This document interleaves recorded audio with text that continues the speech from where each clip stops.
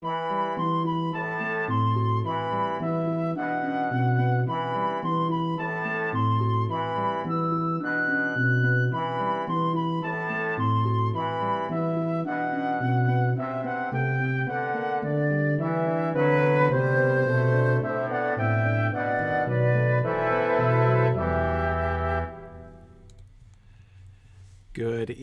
everybody. Welcome back to Exploring the Lord of the Rings. Finally, it has been a long time. We've had three weeks off now as I was on an extended road trip, which was successful. I successfully delivered uh, my child to college, so that was good.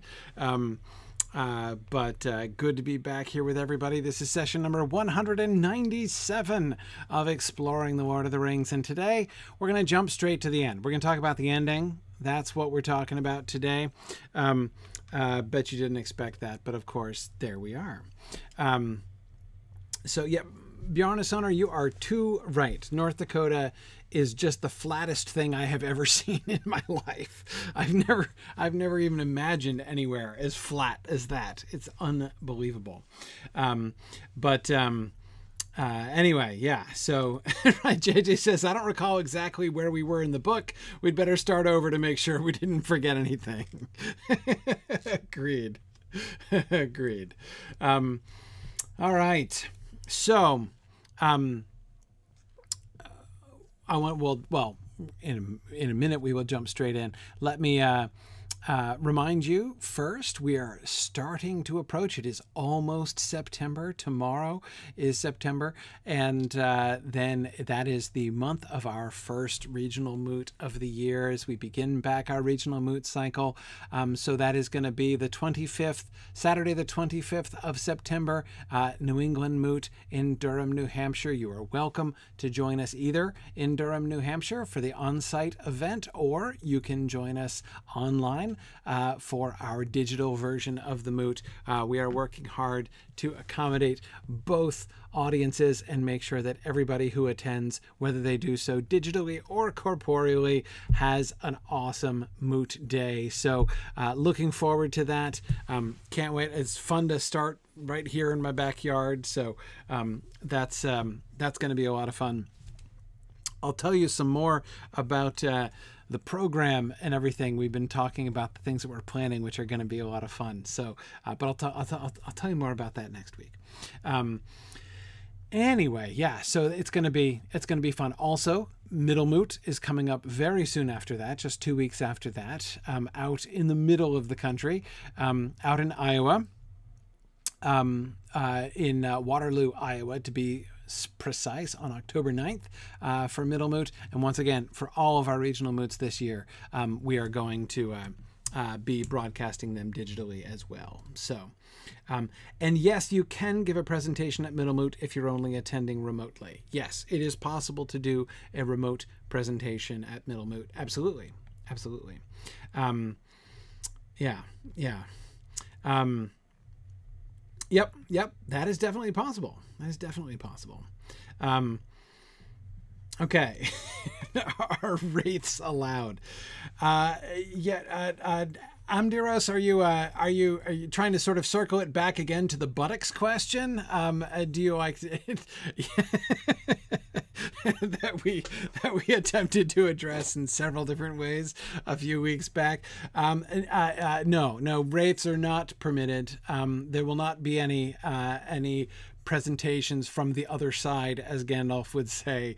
Um, uh, digital, yes. Corporeal, yes. Uh, incorporeal and ghostly, no. I, I mean, I think. Um, uh, for uh, like uh, health reasons, uh, primarily, we're going to have to uh, uh, say no to that. I think, um, but um, yeah, no robe, no boots, no service, says Tora Marthin. That's exactly right. That's exactly right. Um, yeah, yeah. Um, yeah so anyway yeah emily i'm sorry i hope uh i hope that uh that doesn't uh doesn't get in the you know doesn't disturb too many people's plans for the moot uh but uh yeah yeah um anyway um uh yeah so definitely um uh, definitely, you know, uh, check us out, uh, signumuniversity.org slash events, and you can find the registration for both moots.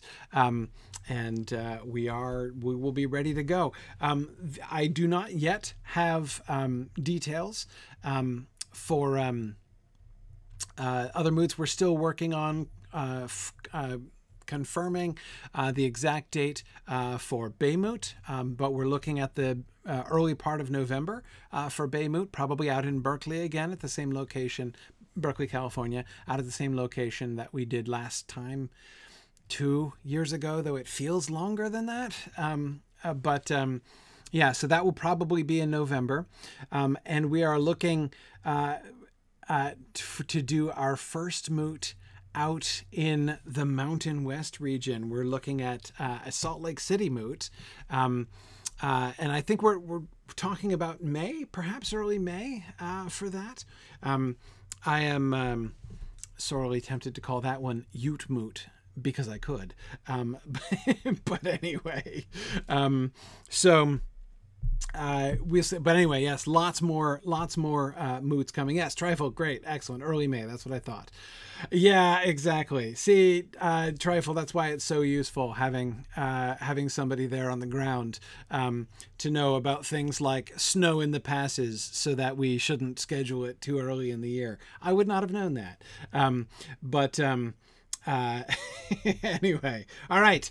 So lots of fun coming up. Looking forward uh, to uh, uh, to the rest of this year. Um, but anyway, let us jump back into the text uh, so that we can remember where in the story we were. Somewhere in the first couple pages of The Ring Goes South when the ring has not yet quite gone south. And what we've been focusing on is how Gandalf and Bilbo have been working together to keep Frodo's spirits from going south um, because he has been struggling some with the reaction. Um, which to be fair to him it's he just you know was proclaimed the ring bearer and volunteered to go on what looks like a more or less suicidal mission uh, you know just within the hour. So um, he's in a complicated emotional place right now. Um, so frodo turns to bilbo after gandalf leaves. How long do you think i shall have here? said frodo to bilbo when gandalf had gone Oh, I don't know. I can't count days in Rivendell, said Bilbo, but quite long, I should think. We can have many a good talk. What about helping me with my book and making a start on the next? Have you thought of an ending? Yes, several, and all are dark and unpleasant, said Frodo. Oh, that won't do, said Bilbo. Books ought to have good endings. How would this do? And they all settle down and live together happily ever after. It will do well if it ever comes to that, said Frodo. Ah, said Sam, and where will they live? That's what I often wonder. Okay. Um, so remember, of course, there's a, a, a, delightful kind of callback to that moment at the end of the council when um, when Frodo is he has that brief moment of that brief surge of desire. Remember that we discussed uh, to stay in Rivendell with Bilbo, and we were talking about the the source of that. Was that uh, was it was it was that a ring temptation? The way that it kind of came upon him very suddenly sort of made it sound like a ring temptation. Um, but I was arguing at the time that I didn't think it sounded like that. I don't, I think that's the way that the ring um, operates, in particular because the ring had always before tempted him to leave his friends, right? To abandon his friends um, and go off on his own. Um, so the ring tempting him to remain snugly in Rivendell uh, with Bilbo just doesn't sound like the ring's style. Um, not the kind of thing that the ring seems to tempt people to. And so, therefore, um, if it's not the ring, that would seem to be Frodo's own heart, like his own like what he wants more than anything else, right? His idea of you know, his brief sort of flash image of the positive alternative to um, uh, going off on a suicidal mission, right? Um, uh, so, um, and it is a very hobbitish desire, uh, Cook. I agree with you there. And uh, yeah, hang on, guys. We'll talk about Sam in a little bit because Sam's comment is really interesting, and I'm really looking forward to getting there. But um, we'll um, we'll we'll get there. We'll get there. Um, uh, yeah. So there's this, as I say, a little kind of callback to that. How long do you think I shall have here? Right. Gandalf had suggested that he does think. He's already told Frodo to cheer up. Right. That he will be able to be here for a while. He's not being rushed out right away. Um, and uh, and so he asks, "How long do you think I shall have?" And Bilbo doesn't answer. Right? His non-answer is really interesting. I don't know. I don't. And and at first, it's like you might think that he's saying.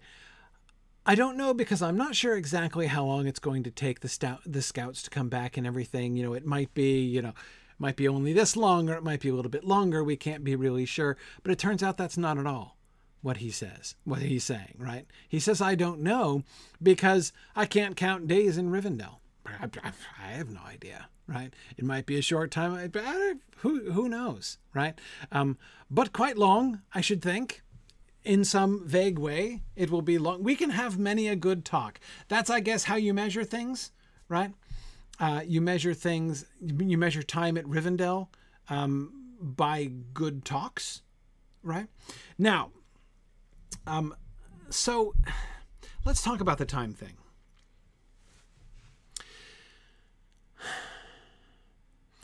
What evidence do we have that time works differently in Rivendell? There are many who think this, right? Um, that there's this sort of timelessness about Rivendell. Um, we a great deal of attention is paid to this in Lothlorien, right? Where they lose track of time, and they're going to have this whole conversation about how um, they cannot believe that as much time passed there as they, you know, the evidence of the world around them suggests is actually true, right? Um, but um, do we see? Do we have reason to think that this? So I'm so again. We, so we know this happened. We know there's this whole time issue there in Lothlorien. Is that true in Rivendell as well? I'm not 100% convinced that it's the same, actually. Um, and um, it is true that it's often true in fairy. Um, um, it is certainly, um, Bard, just as you say, a well established thing um, that folks go into Faerie and come out in 100 years have passed, right?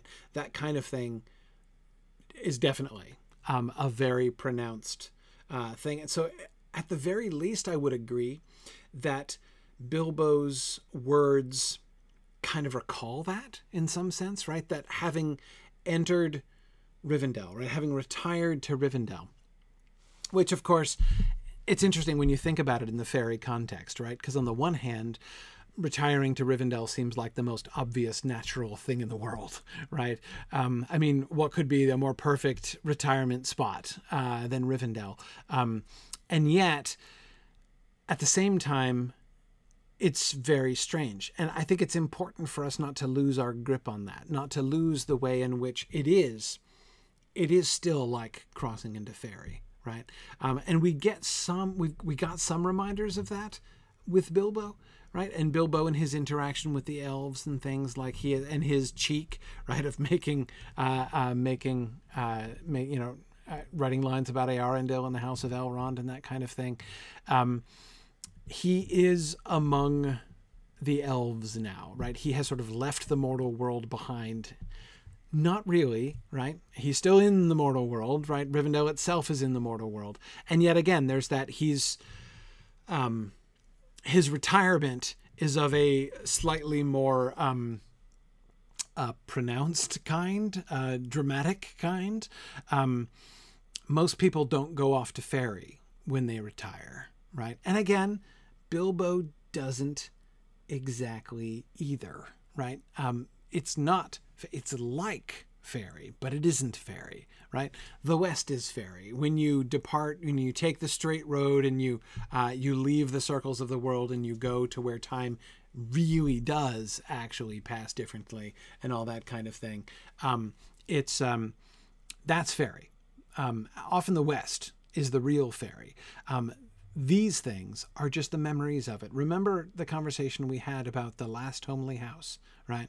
Um, the last homely house east of the sea.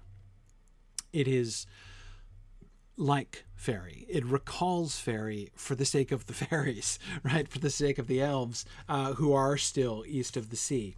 Um, but um, uh, anyway, that's um, but it's not a place for mortals, right? And Rivendell isn't exactly a normal place for mortals either.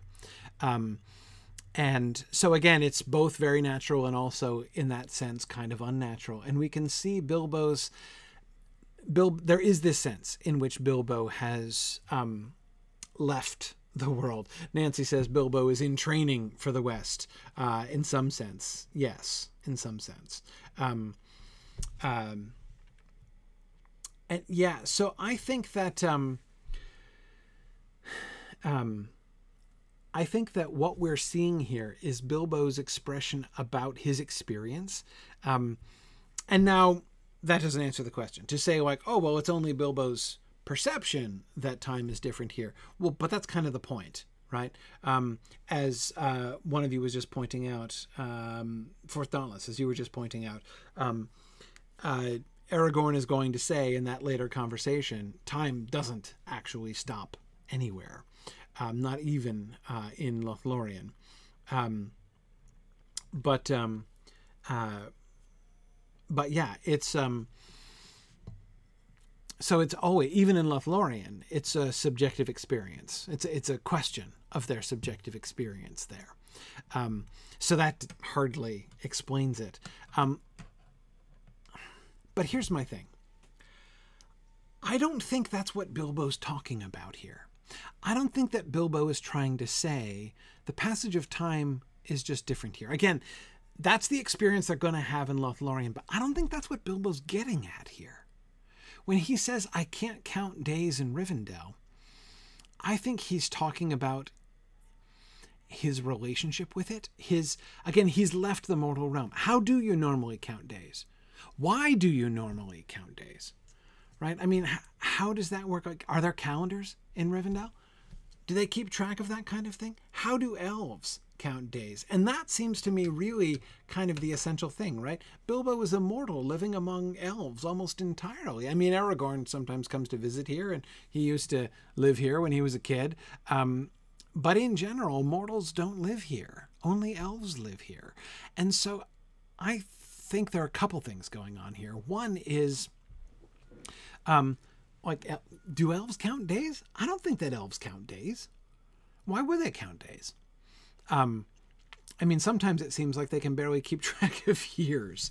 Um, and um, and yes, Gil-galad, I think that that's a big part of it. That Bilbo lives in bliss and so isn't counting the days, just enjoying the existence. Yes, exactly. Um, exactly. It's it's a place of rest. Cook. Uh, when we are resting and not working, we lose time. Yes. How does he measure time? He doesn't count days.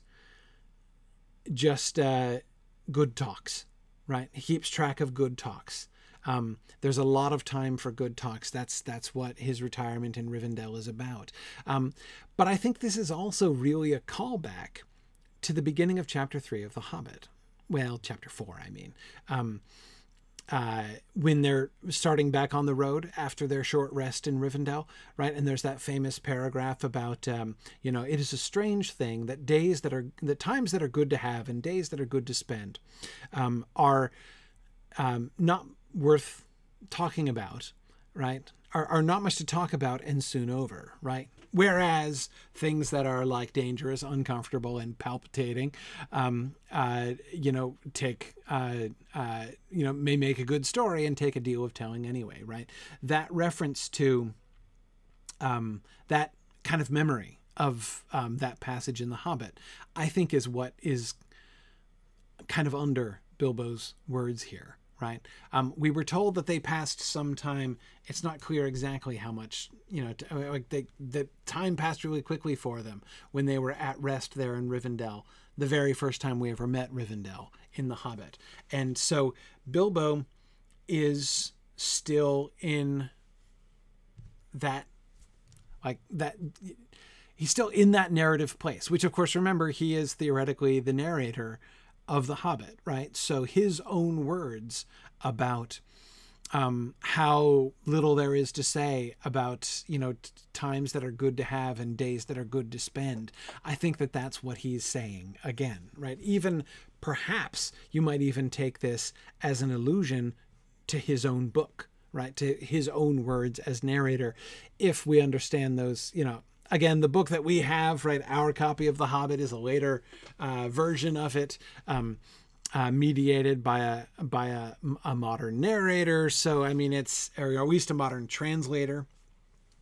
So you know, it's hard to say whether we have like the exact words of Bilbo there, but nevertheless, um, again, if we kind of think of The Hobbit as Bilbo's book, which I think we should be, as he is going to be segueing directly to talking about his book within this very same paragraph, right? And that's the other reason that I tend to go back to The Hobbit there um, at the beginning of this, rather than reading this in terms of him, Bilbo, that is pointing to this sort of larger question about the flow of time uh, in Rivendell. I think he's talking about his own experience and alluding back to what he already said, um, uh, to what he said in The Hobbit.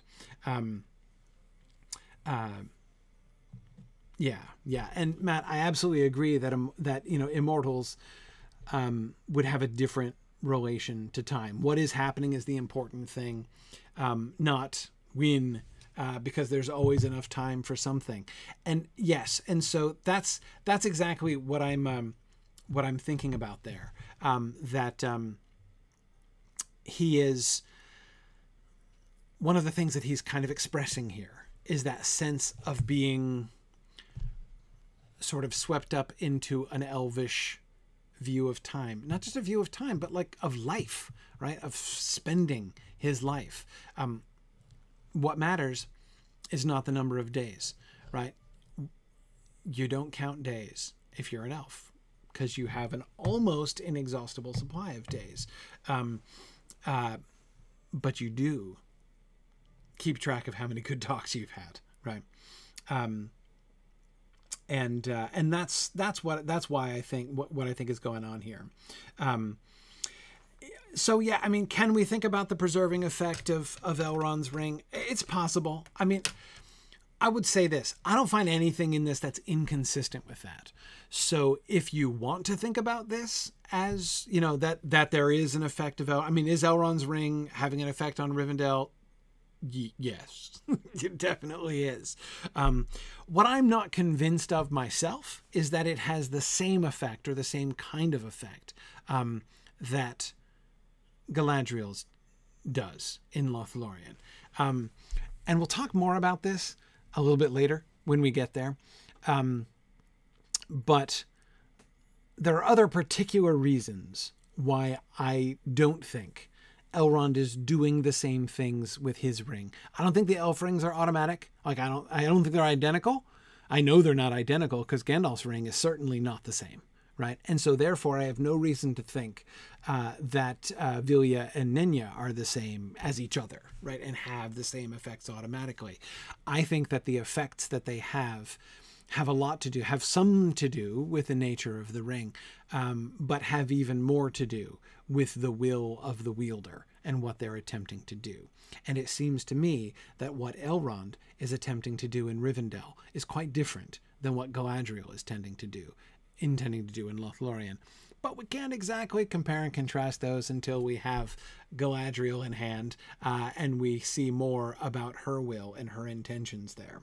Um, so um, anyway, that's that's why it is it is for those reasons that I myself do not believe that one of the effects that Elrond has created with the exertion of the power of his ring in Rivendell. I do not believe that one of those effects is that same kind of time bubble effect that Galadriel clearly has created um, in Lothlorien. Um, and uh, one of the reasons that I don't believe this is the way. Look at the role that Rivendell as a place is serving here. It's not only a refuge, right? That is, think about how they are desperately racing for Rivendell, right? Trying to, if they can just cross the border, right, by crossing the ford, um, then they'll be safe on the other side. And of course, Frodo is safe on the other side, even though he's only, you know, inches uh, on the other side of the boundary. Indeed, he does turn out to be safe, right? Um, so, uh, so that's that's one thing. It's a it's a it's it's a place of refuge, but it's also a place of meeting, right? I mean, like look at all these folks who just showed up, right? It's not even just that he chose this place as the venue, uh, you know, for the get together that he was throwing. He says he didn't throw the get together, right? Everybody just came and showed up. Um, there's a way in which the borders of Riven, although Rivendell is a secret valley, right, and it's hidden, uh, you know, its location is not generally known, and yet, um, its borders seem more open. Its uh, its its its doors are open more. It is a meeting place. It is a place. Like even Denethor knows of Imladris and knows that it's a place that you can go to seek for lore, right? To seek for the answer of questions. Um, if they want some, if they want to find somebody in Middle Earth who can tell them the meaning um, of the dream riddle, then uh, uh, you know that's that's that's where you go. He doesn't send them to Lothlorien, right? Uh, Denethor presumably knows about Galadriel's existence. I'd be a little surprised if he didn't. Um, there must be lore uh, in the in the lore of Minas Tirith about Galadriel's existence, right? And um, Alia Eru, that's exactly right. The last homely house is a place of hospitality. Absolutely. Absolutely. Um, a place of hospitality. Yes. Yes. Um, it's, um, again, it's not like a public inn, right? I mean, it's it's it's still hidden. It's still secret. Um, it still is a magical valley, but um, but again, it's um, it has an outward focus, right? An open like metaphorically sort of open doors, right? Figuratively open doors, if you see what I mean by that. Whereas Lothlorien is closed. Lothlorien is is sort of um, it's it's just, it, it's it's not a crossroads. Lothlorien. Um, it's not a destination where people end up lots of times. They get there, right? The the company will get there, but it's strange and unusual when they get there. Um, whereas again, the only thing strange about everybody showing up for the Council of Elrond is that they've all showed up at the same time, right? With linked concerns who can all be benefited by having the uh, the council together, right? Um, so, um, um, yeah, Rachel, you're absolutely right. Um, uh, that she's reminding me that, of course, um, sometimes people do go to Lothlorien, um, but if they do, they often don't return. Um, and few return unscathed. That seems to be the uh, uh, the lore in Gondor, right? Um, or at least we should hesitate there. Well, well, we'll, get to that. We'll get to that before too long. But anyway, yes, there's clearly mixed uh, um, uh, mixed sentiments there. Um, but um, yeah, so this is again why I am very reluctant. I am, no, I'll go beyond that. I am unwilling to assume that things work the same in Rivendell and Lothlorien. The two places as places, as we see them, as they're presented in the story, um, as they're kind of understood and related to by the countries around them and by um, the uh, you know by places where lore is still retained of the elder days. Like it's it's too different, right? They're too different from each other. Um, their whole purpose and focus seems to be quite different, and so therefore, I cannot assume, just simply assume, that they work the same. Um, they might, they could. Um, you know, could Elrond do that? Yes. And again, do we see anything that is actively inconsistent with it? Right? I don't think I could disprove it. I mean, if if one of you were to draw a line in the sand and say, I am 100% convinced that Elrond, through the power of his ring, is changing the effect of the flow of time Um, or even if you wanted to make the argument that that's one of the consequences of using one of the three rings in that way. Um, I don't think I could disprove it because there are many things that are said like this passage that are consistent with that perfectly consistent with that it just it doesn't feel right it doesn't seem to me to fit the larger pattern that we see in Lothlorien. And when I say it doesn't feel right, um, I'm not just trying to be like really squishy and evasive about that. That's what I mean by that. Um, what I'm talking about to kind of back up from it and use more proper English teacher language. Um, it's about the pattern. Um, it's about like my my, uh, my inductive reasoning tells me no. Can't prove it, but it tells me no. It says to me, coming like theorizing like this, trying to come to conclusions like this, it's all about finding a reading, finding an answer that fits, finding a key that fits the lock, right? You see all these things, you, you make all these observations, and you pull all these observations together. And then what reading can you have that'll that'll fit everything that you've seen as best as, you, as it possibly can right and to me that's just that key doesn't doesn't fit the law. It's not totally out there. Not at all. Not at all. And as they say i don't uh, that's not a hill i'd want to die on um, and i don't think i could disprove it. Um, but i uh, i definitely i myself don't believe it doesn't seem to me as i say to fit with what we see of rivendell as a whole. Um, instead I think that Bilbo is alluding back to The Hobbit, which he's about to come back to, his book, right? Um, and he's pointing to the difference of his perspective. And by the way, remember what is on Bilbo's mind. What's the number one thing on Bilbo's mind? I think the number one thing on Bilbo's mind is Frodo and where and Frodo's own state of mind, right?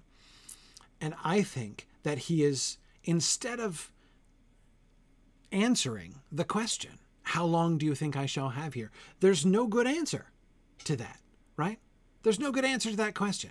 Not in the interest of cheering up Frodo.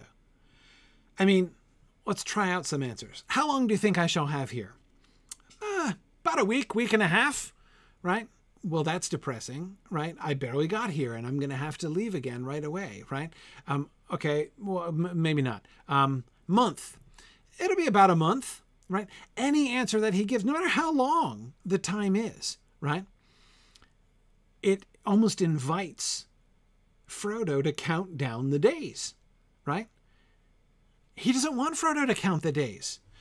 For him to count the days is to focus on what comes next. Instead, he's inviting Frodo into this elvish perspective on his time here. I can't count days in Rivendell.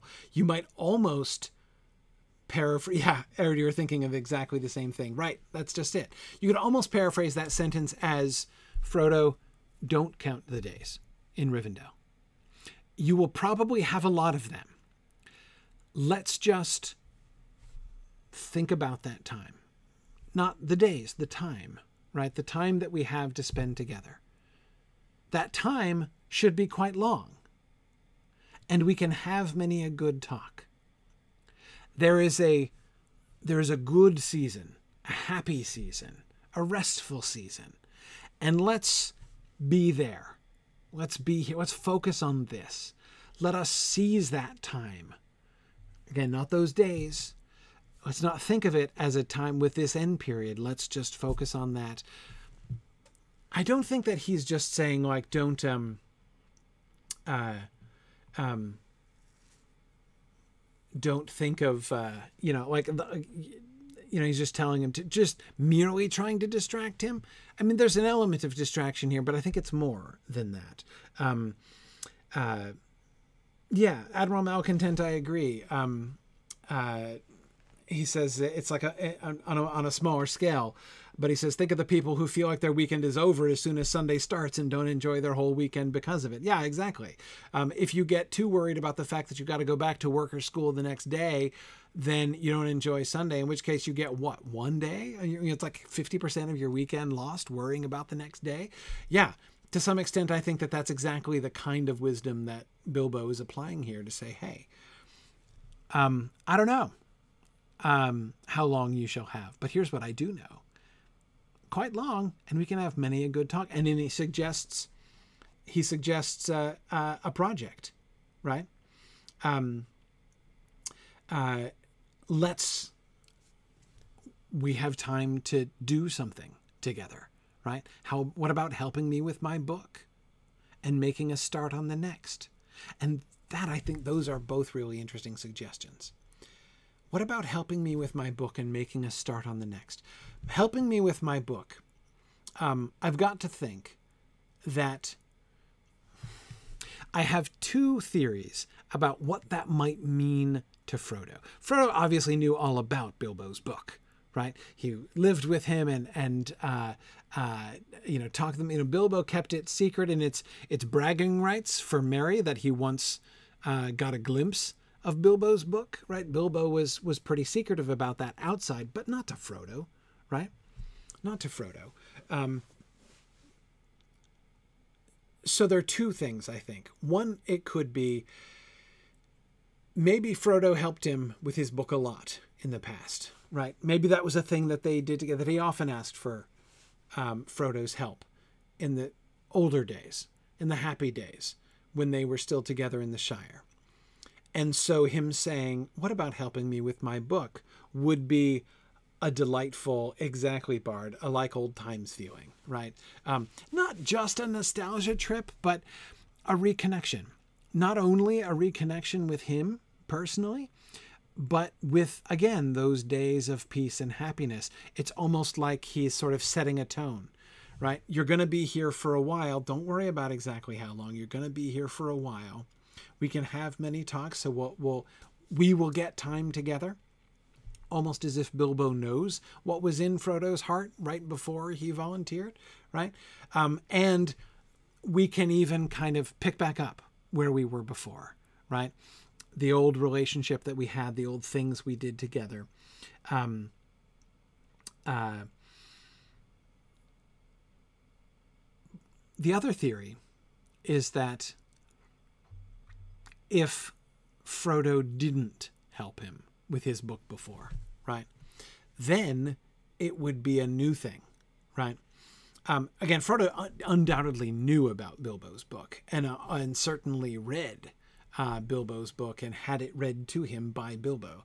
Um, but maybe Bilbo didn't get Frodo's help actively. And so this gesture, helping me with my book, is a step to like a new level of intimacy. Exactly, uh, Bard. Just what I was thinking. You've grown up. You're ready to help with this now. Um, uh, yes, yes, exactly. Um, that would be kind of cool too, right? And that one, either one, I think, would fit with the other half of the sentence and making a start on the next. Um, let's think of this that is again, and this is one of the main reasons why I don't think his main purpose is merely to distract Frodo, right? Merely to stop Frodo thinking about the quest to come, because of course he is talking about Frodo's quest, making a start on the next, the next book, your book, right? Um, help me finish my book, so that and let's start your book, right? Let's let's do that transition thing. Let's let's during this time of peace that we will have together, let's do this rite of passage thing, right? Um, uh, and we can work on it together. Notice also how he's implicitly inviting Frodo to look at his quest with the ring, both his quest on the way to Rivendell and his quest hereafter, not as an ending, but as a beginning, right? It's a start of a new book. Um, yeah, yeah. Um, and yes, Admiral Malcontent, he does want Frodo to see that he's already um, he's already accomplished impressive deeds worthy of putting down in writing. Yes, and you'll remember he said as much during the council, right? Remember when he says to Frodo, there were whole chapters of stuff before you got here, right? He's already expressed his desire to Frodo to get together, um, to work on. Uh, to work on another book, right? To work on Frodo's uh, story, um, and um, yes, yes. Now, Matt, you're right. Um, there is also more hope in it too. You don't start a book you can't finish. It's a voicing of hope. Now, Amdiro says, "Tell Tolkien that you can't start a book you don't finish." True enough, but nevertheless, I agree. Um, if you know for a fact that there's no chance of your finishing it, uh, it's pointless to start it, right? Um, and of course, that's the the kind of somewhat dangerous gambit that Bilbo makes at the end of the paragraph right? Have you thought of an ending?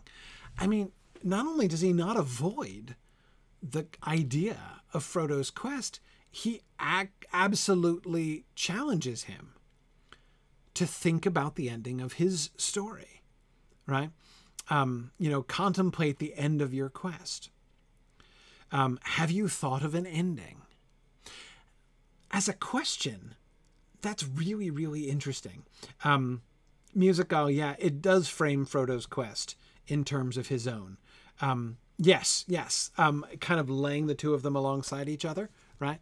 Um, uh, with my book and a start on the next. I also like the kind of ambiguity of the next. The next book, his next book, my book. The first is my book. The other one is the next book. He doesn't say my book and your book. He doesn't say my first book and my next book. It's kind of in between those two things, right? Um, and that seems to me to fit with the way in which he's inviting them to come into it together, right? Um, they're going to be co-authoring this next book, right? Frodo's book. Um, and again, he openly challenges him to think about the ending of his quest. Have you thought of an ending? Now, the other thing that's sort of more peculiar than that is the way that it's framed. It makes it sound like a work of fiction, doesn't it? Have you thought of an ending? I mean, like you might ask an author that who's writing a book, right? Have you thought of an ending? Do you know how it's going to end? How is Frodo supposed to answer that question? Have you thought of an ending, right? I don't know how my story's going to end. But notice the kind of um, implied a, um, the kind of implied uh, agency that he gives to Frodo there, as if he speaks as if Frodo does in fact have the power to determine the end of his story. Have you thought of an ending for your story? Because remember, he does. He does. Remember the emphasis that Elrond laid at the end of the council on Frodo's will. And that's still, I think, what Bilbo and Gandalf both are focused on in this scene, right? It matters less what Frodo may or may not be able to do. It matters a very great deal what Frodo chooses and where, what direction his will is pointed in. And so Bilbo here openly challenges him, invites him to think of an ending to his story. Because there is a sense, I think, in which Frodo can determine the end of his story. He can. Um,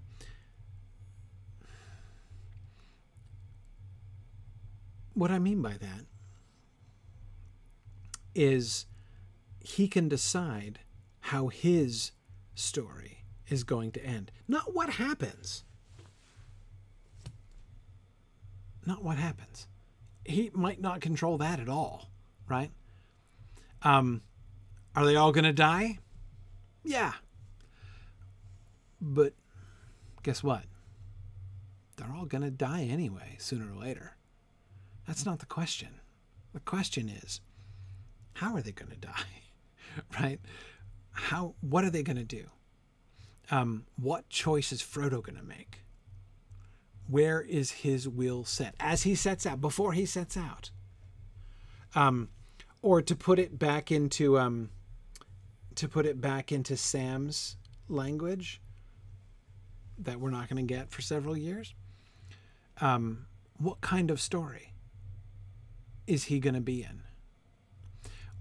The events of the plot, most of them, almost all of them, are not in his power, right? But what kind of story it is? Yeah, JJ, whether he's the hero or the villain, that's that's in his power. Yeah, yeah, yeah. In uh, it's in um, uh, uh, in Gollum's power too, but later, later. Um, yeah, yeah. Um, uh, Wolfie, I agree. It does help Frodo realize he's committed to something greater than he is.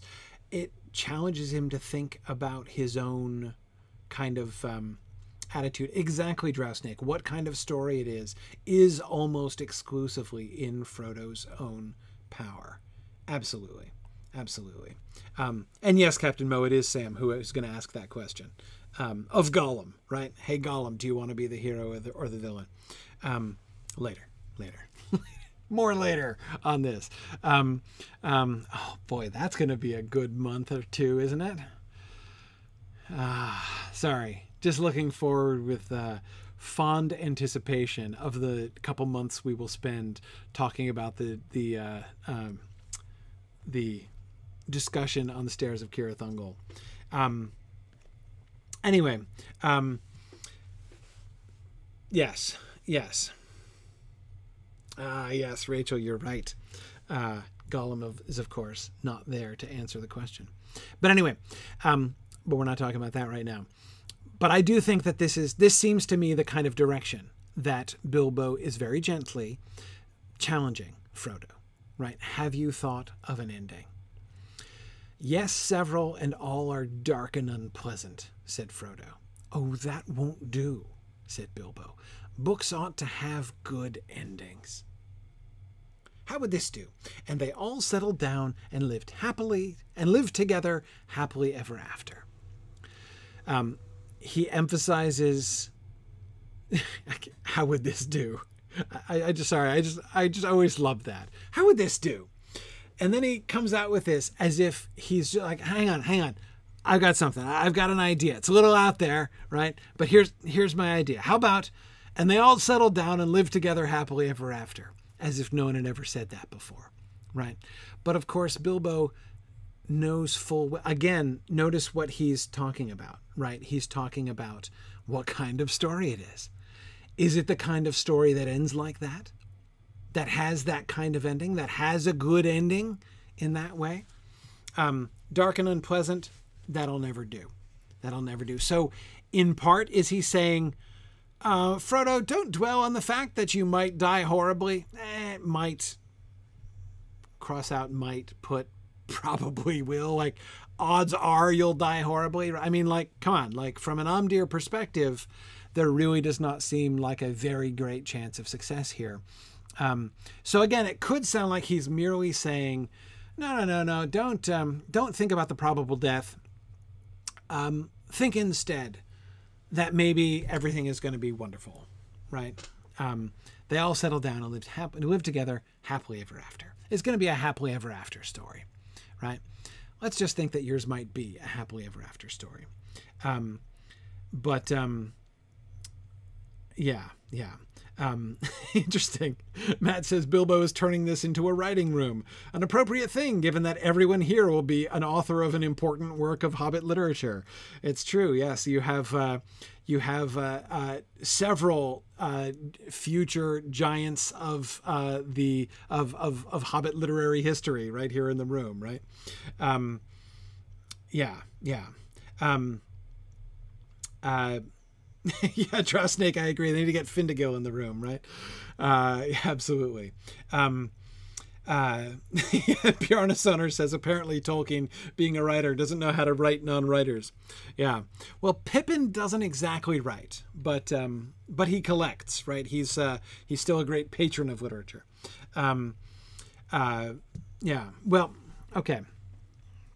So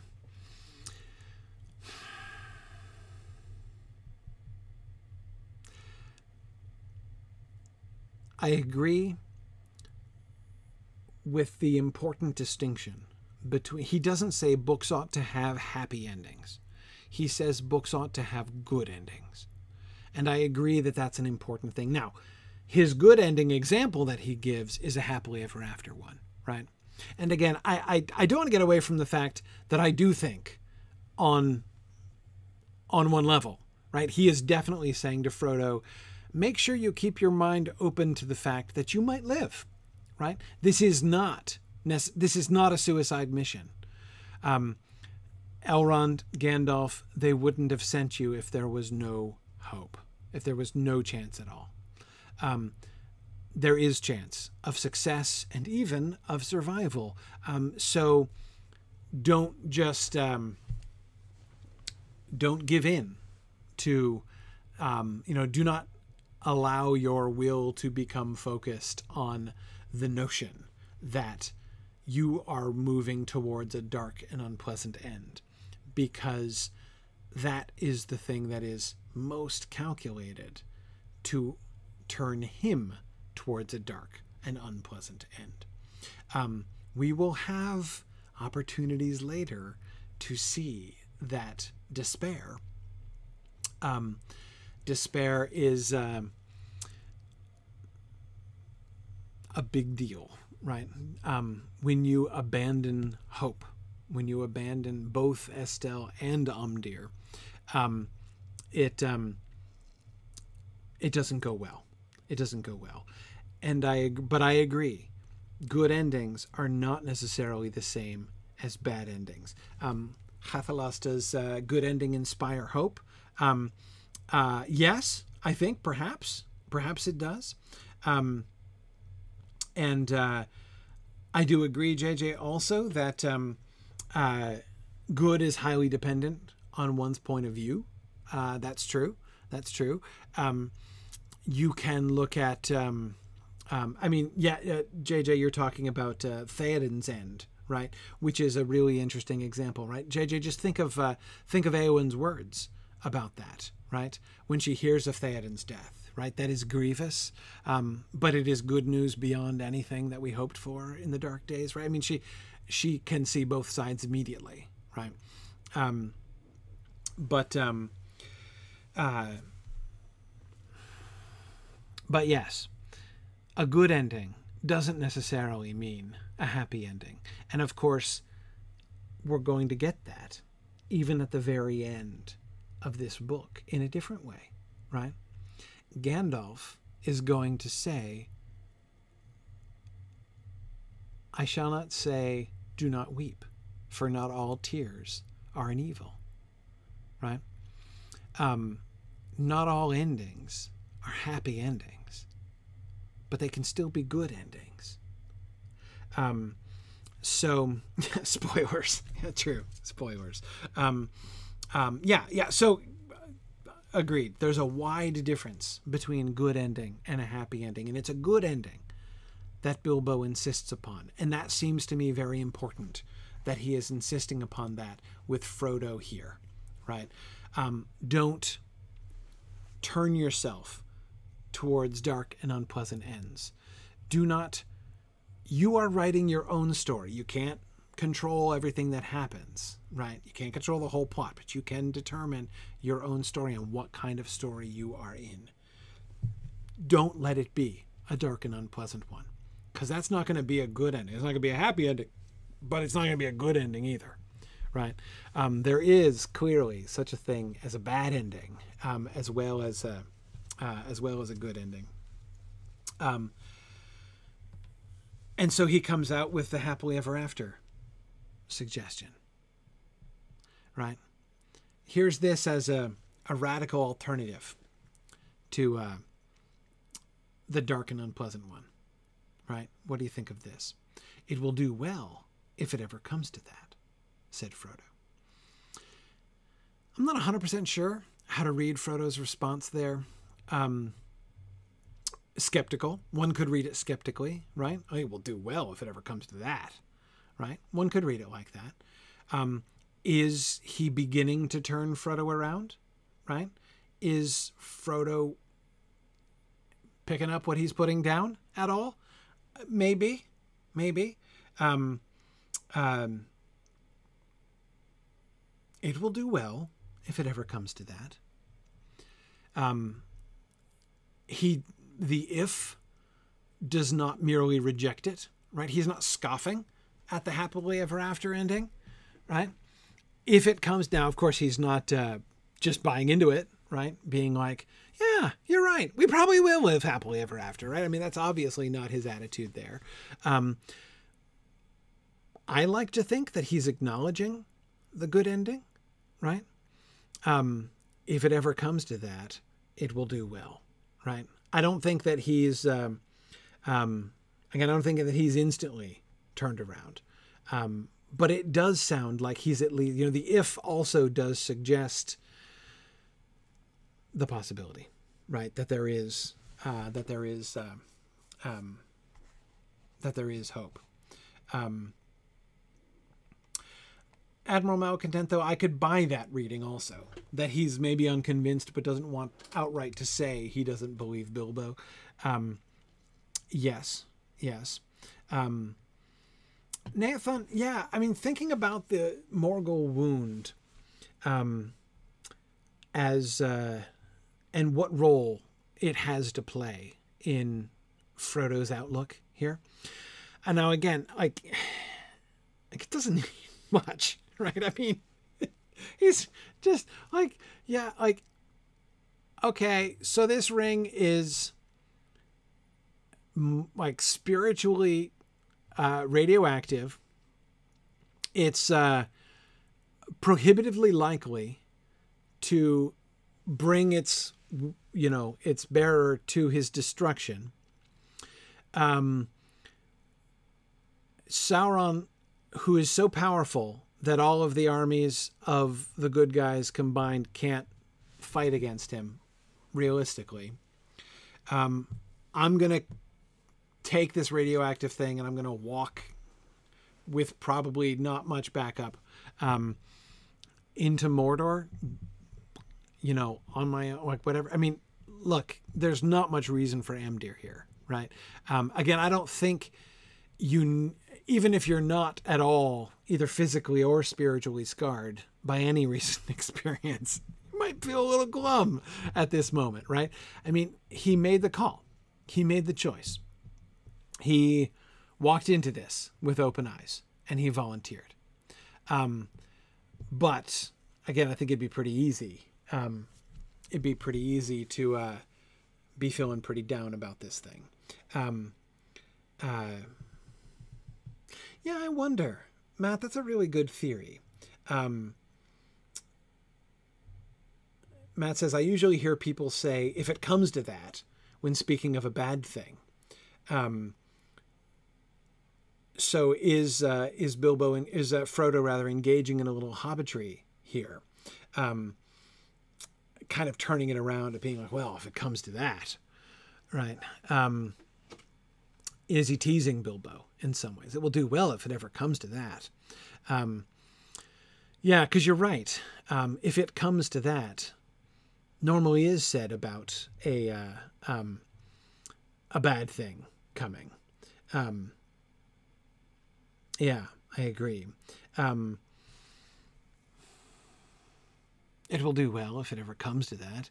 Um, yeah, right. So it, it would be uh, kind of like I mean, not quite like being fully sarcastic about it, Matt, right? But you know, something like, well, you know, I guess in the worst case scenario, right? Like that that kind of teasing uh, of Bilbo. Um, yeah, maybe, maybe. I don't think that Frodo. Frodo does not seem to me depressed in this scene. I, think that's going too far.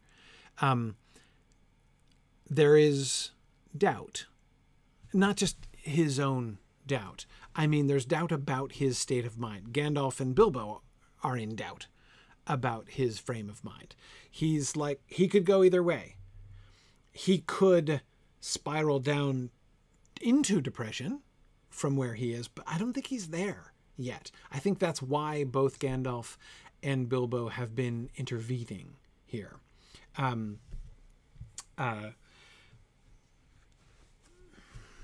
yeah. Um, so I don't think that we need to read him as like already completely glum and they're trying to pull him out of it completely. I, again, I think that Bilbo perceives that he, um, you know, Frodo's will stands on the edge of a knife here, right? Um, and could go either way. Um, yeah. Uh, now, Cook of Wootton, uh, Major, uh, Minor, that's really interesting. Um, uh,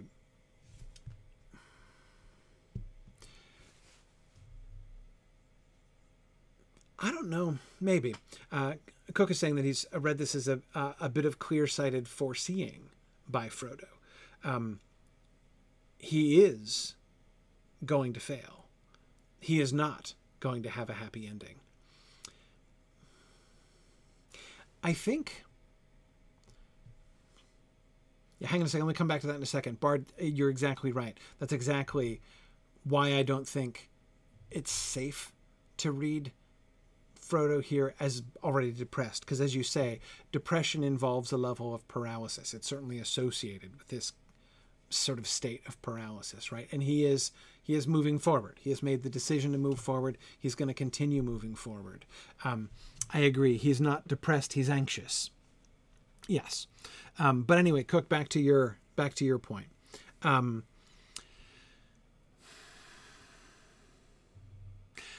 I think I disagree or I guess I'd say more gently, I don't see enough evidence to conclude that he is foreseeing his own failure. But we do have evidence to think that what foresight he has tells him this is not going to be a happily ever after story. Um, remember, he had that foreboding from chapter two of book one, right? Now, in part, he was expressing his own anxiety, his own, um, uh, you know, it was it was a it was a slightly pessimistic expression, right, for him to say, "This will be no there and back again journey," right? I go into danger, um, I go from danger into danger, drawing it after me, right? So he was, um, uh, to some extent, that was just a a uh, um, anxious and um, pessimistic assessment of uh, his, um, you know, where he was going to be. It's not going to be like Bilbo's story. But again, I think that on other occasions, we have seen him have that. There's been the parallel with Bilbo. And yet, I think his instinct, right? I go to lose a treasure, not to gain one. He is going from Bag End, and he's going to seek a mountain, a lonely mountain, even right? Uh, you know, with the treasure. I mean, there are all kinds of parallels. Some are parallels, and some are anti-parallels, though, right? And again, he's perceived that from the beginning. Is his journey like Bilbo's? Yes, in some ways. And we've seen from that same moment, right? While he's saying pessimistic things, Nevertheless, his heart is rising at the thought. You know, there's that moment when he could almost have run out the door without his hat, like Bilbo had done way back then, right? So there is an uprising in his heart, um, you know, an upsurge to want to follow Bilbo, right? This this this hope, this Amdir, that maybe it will be like Bilbo's journey. Maybe we'll finish the one book and then we'll write another book which will be just like it, right? Um, full of hairbreadth escapes and um, and not without sadness, but um, but in the end, it had a good ending, right? It had a good ending in every way, both a good and a happy ending. Um, but I agree, Cook. I don't think from the beginning he's really believed that. I think that he has seen. If there's one thing that I think he has foreseen and foreseen clearly, this is no treasure hunt. This is not that kind of story. It's not going to be the same. Um, if he has a foresight, that I think is where his foresight is. And so, does he attach to that? Does he have the foresight that whatever happens, he is not going to settle down and live together happily ever after? Right? Um, we know that at the end, that's kind of where he's going to be, right? He tried to save the Shire, and it has been saved, but not for me, is where he's going to be at the end of the story as we get it here. Um, now, of course, I still think that Bilbo's going to have the last laugh, right? Because although the book ends not with them settling down and living together happily ever after, that's not going to happen for Frodo in the Shire. Not in this book, right? But if you think about his story, the story of his life, settling down with Bilbo and living together happily ever after is exactly what they're going to do. Not in Rivendell, better, right? Um, so I think in the end, Bilbo's going to have the last laugh, and Bilbo's ending is exactly what's going to happen. Um, Bilbo has precisely called the ending of Frodo's story. Um, even if Frodo doesn't think it, and even if, in a sense, Frodo doesn't even know it or feel it later on. Um, but um, yeah, even Elrond and Galadriel will be there. Absolutely, absolutely. Um, yeah, yeah. Um, yeah, yeah. Anyway, um, well, let's get to Sam. What do you make of Sam's interjection? Ah, said Sam, and where will they live? That's what I often wonder. Now, especially having just been reflecting on, you know, the voyage to Elvenhome and such, um, it's really fun to imagine this as a kind of foreshadowing of that, right? But I want to start with what does Sam mean, right? What does Sam eyeing up Rivendell real estate? Yeah, something like that. Uh, they gave up Bag End. Yes, yes. Um, good. That's that's that's a really important thing. That's a really important thing. Um, it's easy to see Sam as kind of a wet blanket here right? Um, how would this do? And they all live down, live, settle down, and live together happily ever after. It would do well if it ever comes to that. And where will they live? That's what I often wonder. Sounds a little Puddleglumish, doesn't it?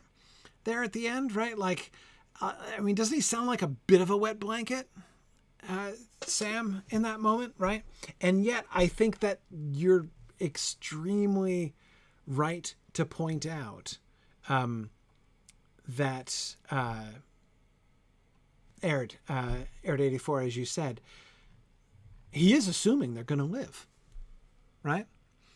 Even to worry about like well bag end's been sold and bagshot row won't be the same and uh, and uh, you know we'll have to, we'd have to find a house somewhere else and who knows where what's going to come of my gaffer and i yeah, okay, that's kind of, and I'm sorry to like make keep making Chronicles of Narnia references, but like, it, it, um, Puddleglum is pretty much the ideal embodiment of that kind of attitude. I mean, he is puddle Puddleglum is one of the great archetypes in in my mind. Like not just like a literary archetype, but like a uh, like a personality archetype. I mean.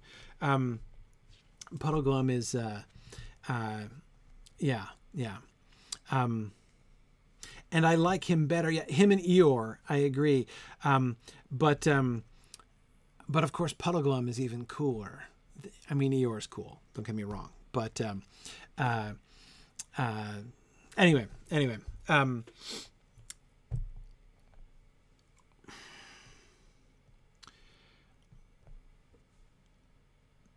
but yes, don't miss the fact that Sam's own kind of gloomy questions about the future are premised upon their survival, right? I mean, you know, if only they should be so fortunate as to return to Bag End and then have to figure out what to do with property sales and and and and real estate questions and um and where's the gaffer gonna uh you know grow his potatoes and stuff like that. Um, uh, yeah, yeah. Um,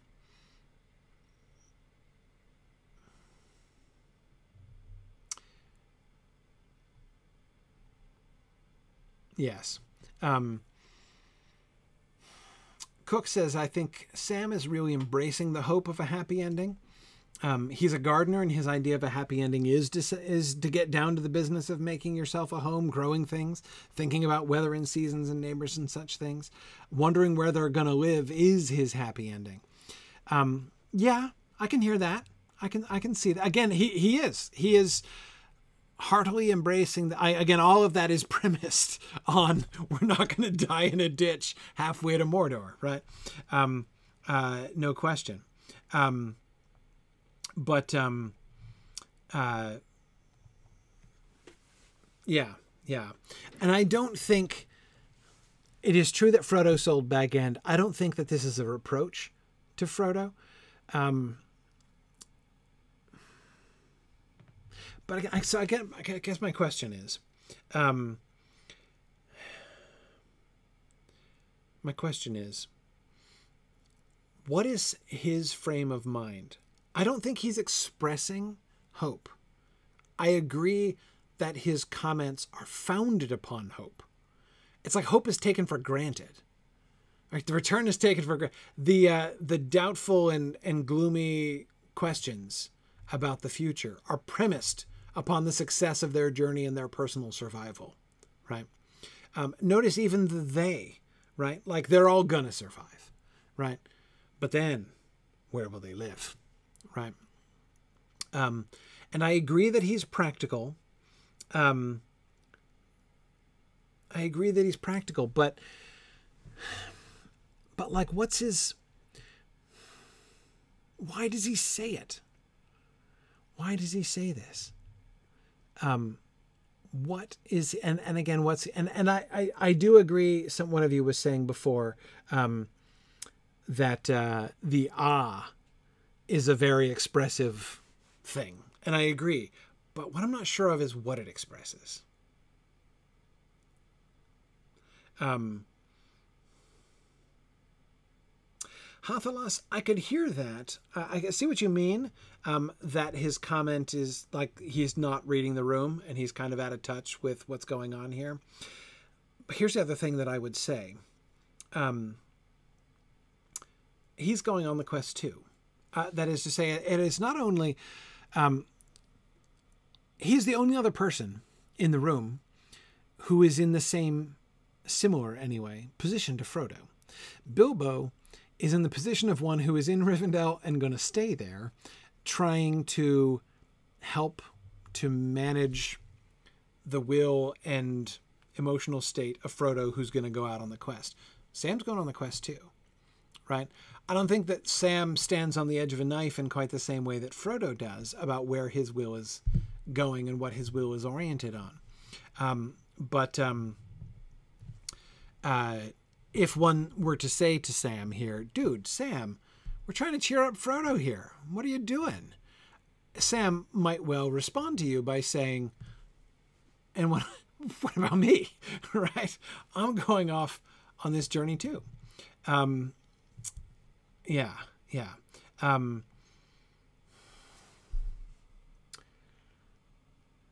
yeah, exactly. Frodo is going on alone with his servant. That's exactly right. Um, yeah um,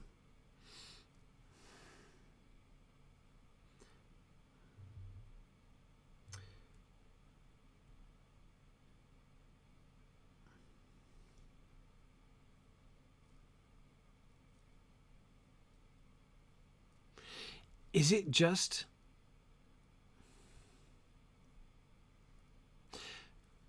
here's one of the main things that thinking about the big picture and i'm doing lots of remembering ahead tonight. Um, but um, one of the things i am going to be mo- here's what this is on my short list. I've got a lot of things i'm looking forward to in the remnant of exploring the lord of the rings with you guys. But here, this is on my short list. On my short list is being able to do a careful and longitudinal study of Sam's relationship with hope. Because I have never been fully satisfied with anyone's treatment of Sam's relationship with hope in The Two Towers and The Return of the King. It's very complicated. And um, I am. Uh,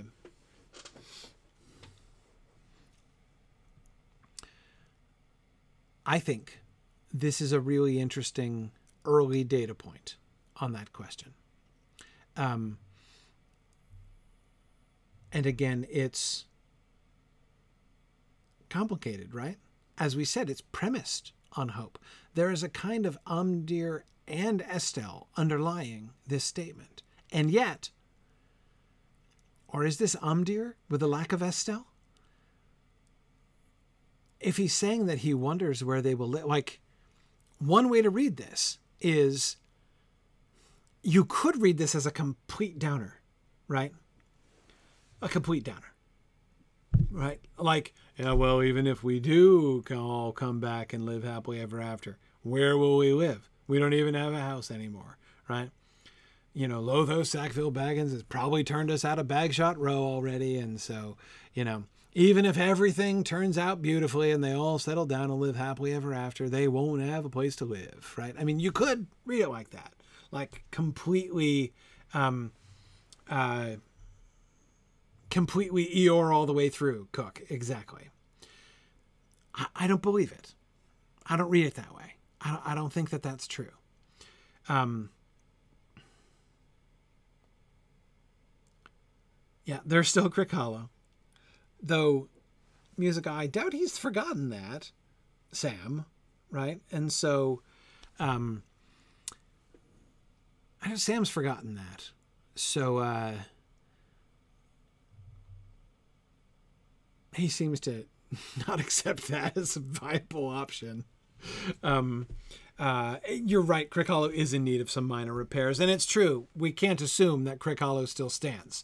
Right? Last they knew, the Nazgul were going to be we're going to be uh, honing in on it. So, uh, um, uh,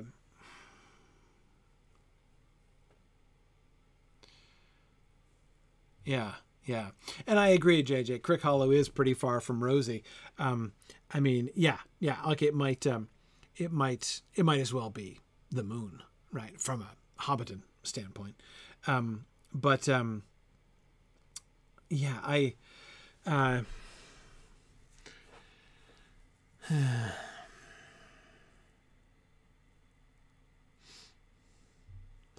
I, I agree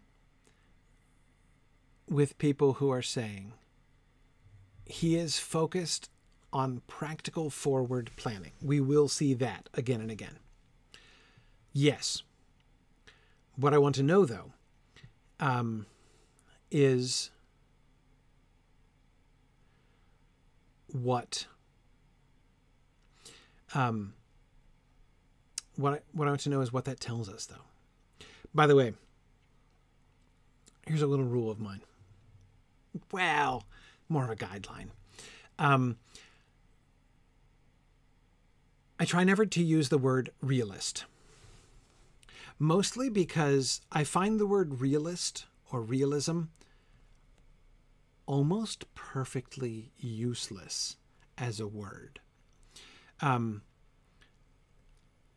whenever you hear someone in, our, in an argument say, Well, I'm a realist, they're saying nothing. They've accomplished nothing at all. Never say that in an argument. Because everyone, it's the question is, what do you think reality is? That's the question. Everybody thinks they're a realist. The question, is, every, it's the question is, what is reality, right? Um, uh, I mean, uh, there's there's everybody believes themselves to be in touch with reality. Everybody does. I think almost everybody does. Um, but uh, um, but yeah. So if you say somebody is a realist, um, I don't know. Sometimes I think when people say that, they're saying I agree with that person because I like to think of myself as a realist. Anyway, um, uh, I um, yeah. So I I don't find that a useful word at all. Um, uh, because again, the question is, what does that person think reality is? Or to put it back into Sam's terms from later, what kind of story do you think you're in? Right. Um, or to put it back into the way that I think Bilbo is trying to frame it earlier on with Have you thought of an ending? What kind of story are you setting out to be in? Are you setting out to write? you're going to write your autobiography, right? What kind of story is it going to be? Have you thought of an ending? Right? And that is a wonderful thing to think, isn't it? Um, have you thought of an ending to your autobiography yet? Uh, fascinating question. Um, yeah, but anyway, um, uh, yeah. Um,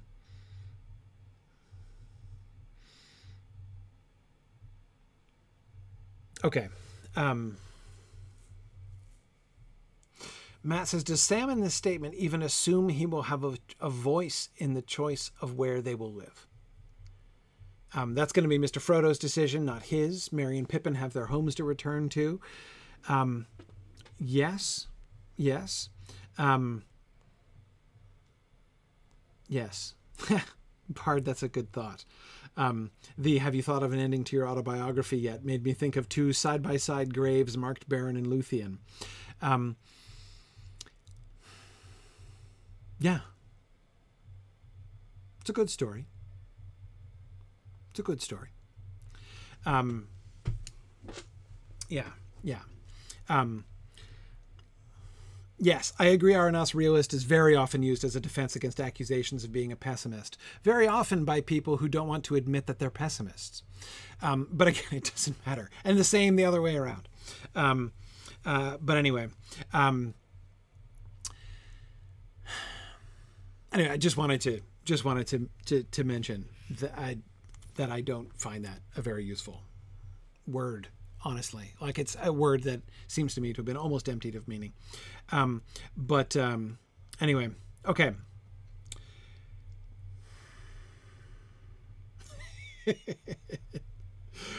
I find it vestigial. Right now, uh, Lupita, magical realism, quite different. That's that, that's okay. I have no problem with that. Uh, absolutely. Um,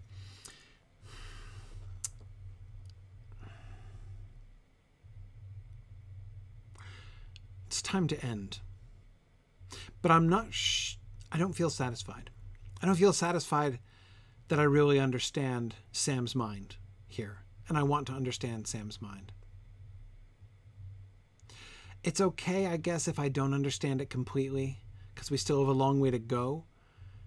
And, you know, a lot of observations to make in order to put together the full pattern of Sam's mind. So maybe we don't have enough data really to draw a firm conclusion yet.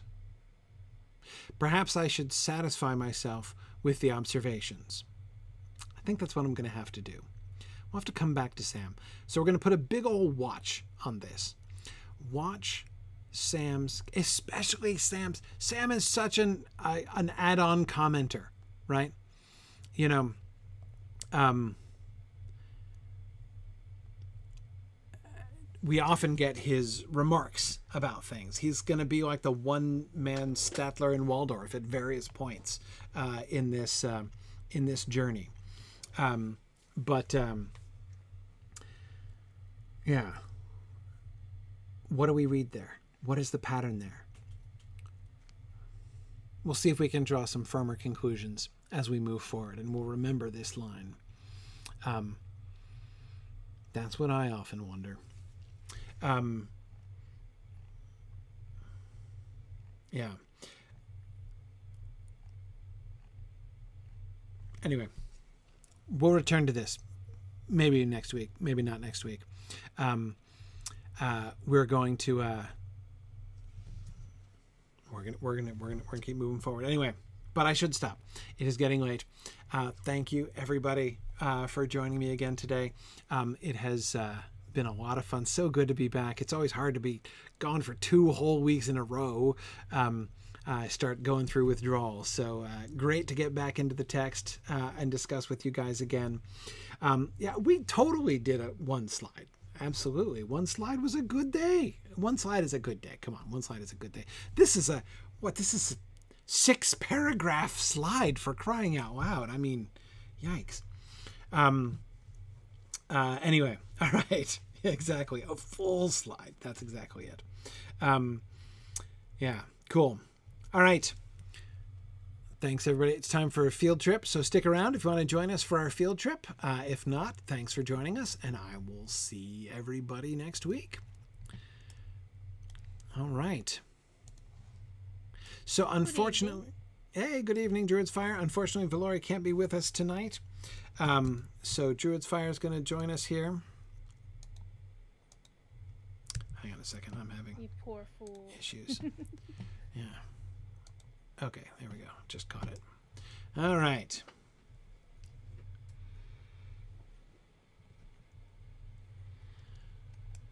All right. So I'm trying to remember where in Middle Earth we were. Oh yeah, we're still. We didn't make it to the next. Um, no, we did not make it to No, the next milestone. So that's if I'm. I'm just gonna. I'm just gonna go to the map for a second. Go into the map to remind myself. Never mind. Let's just travel and then I'll go to the map. Okay, so we're gonna we're gonna we're gonna um we're gonna stable master it from South Bree, right? Yes, indeed, to Anak Kurfu. Yes, yes, to Anak Kurfu up there in the Wells of Langflood, uh, right? Wells of Langflood? Yes. No. Yes. No, it's in Elderslade. I'm sorry. Elderslade, right? Yeah, because we finished with the Wells of Langflood. Um, okay. So all right, so we're gonna head off. So, uh, uh, so yes, Kiesa, right? Kyressa, here. Kyressa is the one that you should uh, send a tell to to get invited into the raid here to join us on our explorations. And yeah, we're not going to explore Anak Corfu, but we're going to travel to there. It's still our travel point. We do have a lot of low levels with us this evening. Oh, well, that'll be fun. They'll be very dead. Well, that's yes. Uh, it might be posthumous fun, but it will be fun one way or the other. Uh, so yeah, Kyressa, K Y R E S S A is the name.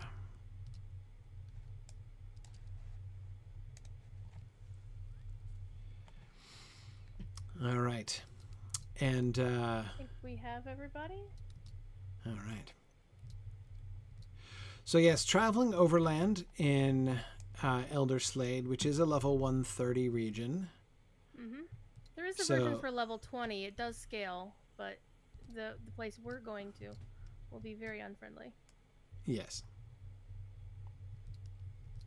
We'll join you anon because I was adding people to the raid. Yes, you'll be okay briefly. But we are going to go overland today because I, I, if I'm remembering correctly, my goal is to hit the next uh, milestone. Mm-hmm. More dwarfs. Places above the ground, strangely enough. Yes, yes, we're going to have a look at that after uh, coming up with some theories last time. Let's see where. Oh, I had scrolled down and I should have left it up there. Because where's it? There it is. Anak Corfu. It's part of the uh, attempts by Standing Stone to let lower level players uh, experience end game story, you know, 14 years after the game launched and whatnot. So, Right. um, and it's basically set for level 20 on up, and it does scale. Nice the story portions do. So this area is level 20? It can be. Uh, the story portion of the War of Three Peaks uh, will scale based on the person going there. Okay. So if you're coming here for the War of Three Peaks content. Mm-hmm. Okay.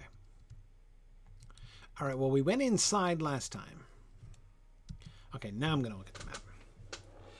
All right. So yeah, there were some other things to look at in the area here, but I think.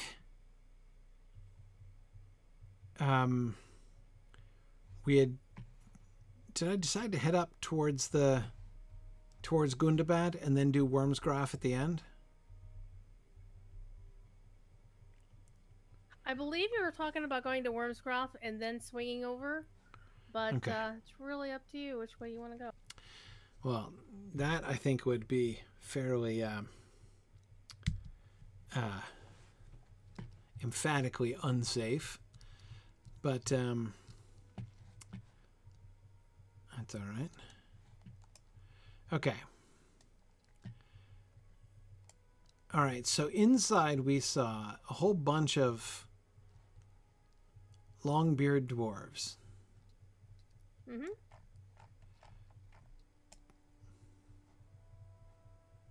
Led by Prince Durin, the unnumbered as yet. Yes, Prince Durin the Unnumbered. I like that. Yes, the son of Thorin the Third Stonehelm. That's a great name. Durin the Unnumbered. I mean, um, okay. we don't know around. exactly when during the around a little bit. last. Uh, No, we don't. Thing. We don't. I Okay, always so- honestly thought it was like something toward the end of days or something. So there's another fortress on a hill over here. Why are they making all these separate fortresses? So we were opining that perhaps this was something like a, a kind of a gatehouse, like a sort of uh uh guest entry point. But there's a bunch of them. Yeah. I'm still fascinated by the fact that you can't see Gundabad from here, because I can. Nope. No, I think I turned my Yeah. resolution down at one point because I was having some kinds of issues. Oh, look, a worm. It'll pop in soon enough when you get closer. Yeah. No, I still can't see it.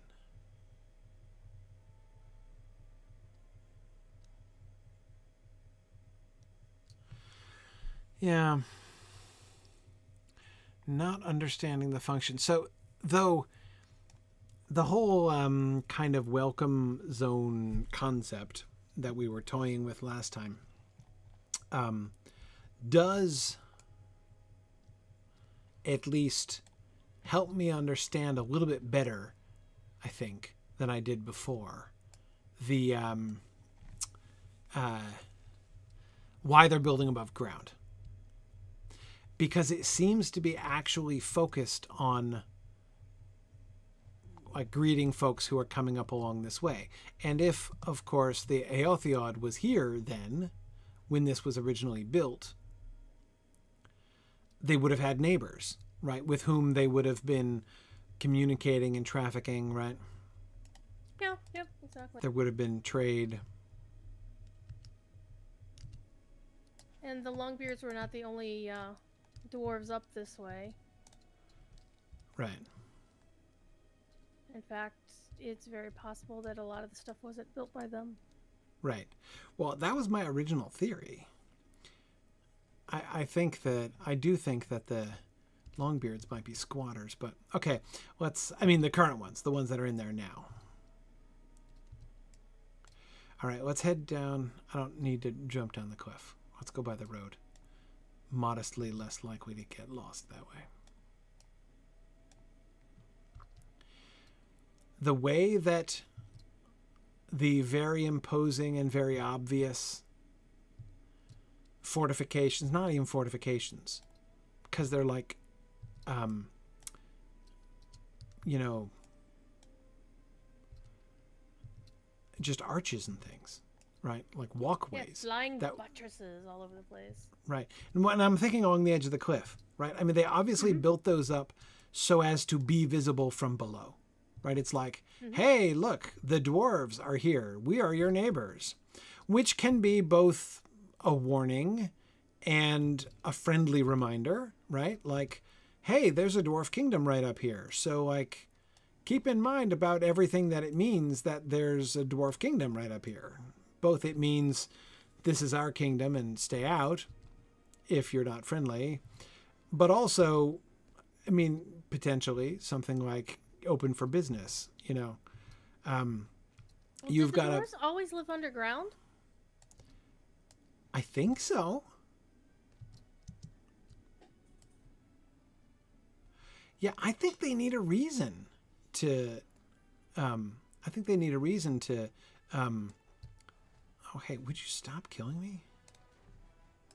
Super rude. I'm talking about things over here. Um, I, th- I think they need a reason to be above ground. Um, yeah, yeah. Um, I also wish it weren't night. Can we get up there? Is that accessible? Uh, yeah, actually, if you cross the river over here. Seems to be a path up the hill.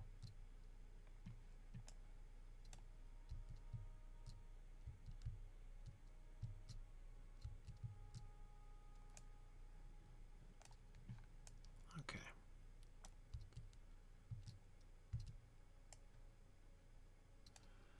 All right.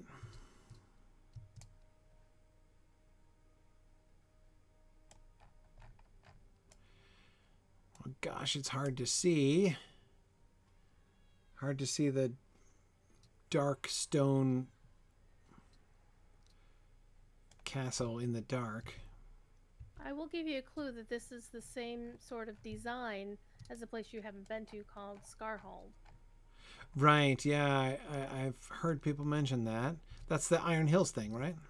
Uh, no, that's uh, Járnfast. Um, so Járnfast is like the red stuff, and then Scarhold is where we get the the lapis lazuli, the really Okay. awesome blue stuff.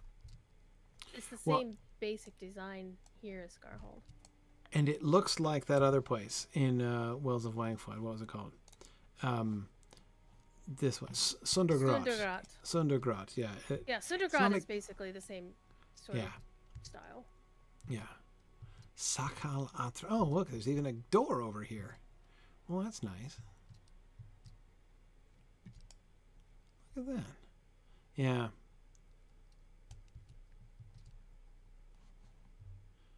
And Greenstand looking like Hama the Door Ward up here. So we can go in. Yeah, oh, just nice. not careful, he'll wind up like Hollow the Door Ward because there are bad guys inside. Oh yeah. This place is a wreck. So who's the oh Angmarim up here?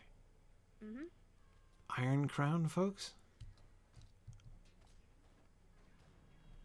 Hmm. Oh, that's interesting. I was looking for Angmarim relics, but this is wasn't what I had in mind.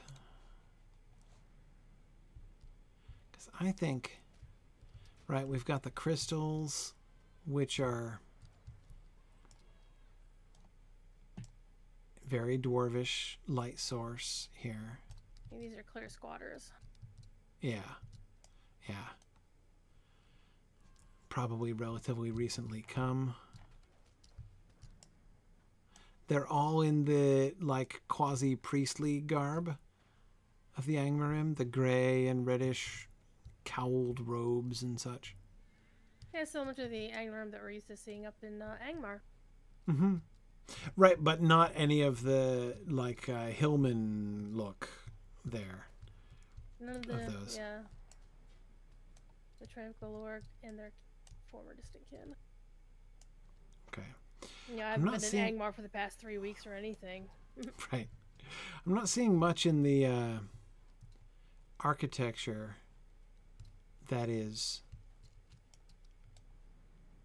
very different. We have some kind of rite going on. Rasmar Blood Rue? What is that about? A named person. Blood Rue? What does that even mean? They rue the blood? I don't know. Like rue the day? I'm trying to figure out in what sense the word rue is being used. Well, this. Okay, it's kind of gross and bloody down here in the water. Yeah, and it's all, you know, red and evil looking down here. Though you can see the arch I mean the architecture is no different. It's just creepy red light. Mm-hmm. Uh, I, I surmise this is actually water rather than blood because it doesn't have the viscosity of blood, but it still looks kind of gross and um, Meant to evoke blood, blood, from with it. the Yeah. kind of way. Yeah. yeah, yeah, yeah, yeah. No, that's the other thing that I was thinking. Yeah, rue is a, um, it's a plant. That's the other thing that I was thinking of. Um, that's why it struck me that it was using rue not as a verb but as a noun. Um, so not as a you will rue the day, but blood rue. Yeah. Um, could blood be an angmarim herb? Maybe. Huh. Okay, so I mean, okay, there's a, a named angmarim doing something nasty down in the water. Architecturally speaking, we don't. I mean, this is much more ruinous than the other, of course. So we don't get to see as much. Hard to tell what this used to be, though. Notice the ceilings are so much lower all the way through, from the entryway on. Right. So obviously not made for tourists. Exactly. It does not have the same kind of welcome hall sort of uh, feel to it that. Um,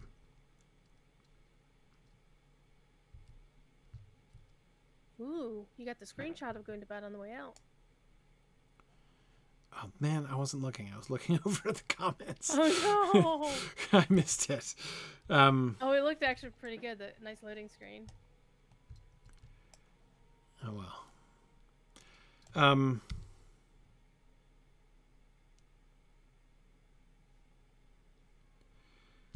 let's go by the road. Let's go back around by the road. So this looks like what, like a an outpost, Eh, much more functional, with its hallways and floor plan. I mean, what of the floor plan we could still get to anyway. Looked much more functional. Oh, there we go. Now I got it. yeah.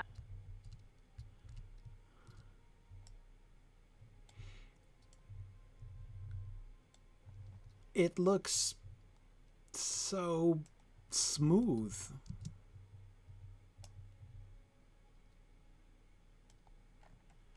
It kind of reminds me of the Dower Handy sort of look that we had seen in Ered Luin. A little bit. That diamond thing they've got going on. It's a dominant motif. It's really interesting. Okay. Well, we'll get. How many spires are there? There's seven spires for seven fathers. I don't know. I'm still right at the edge. Some of it, I don't trust that all the spires were coming in for me, so I'm gonna get a little closer here. The uh, the lake is lovely, with the island in the middle.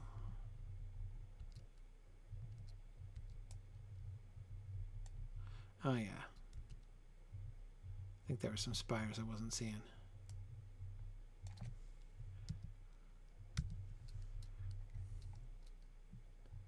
Just want to come up to this vantage point up here.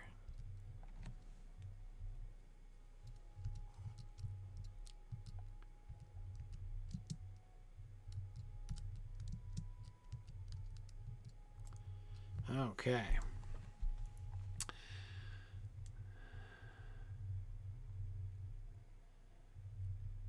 Oh man.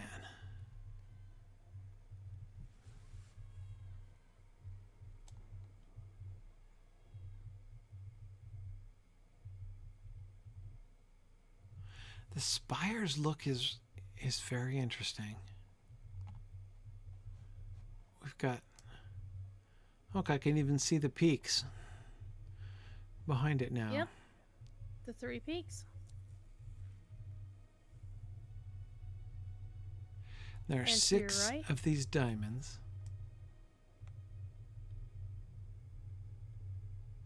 Okay.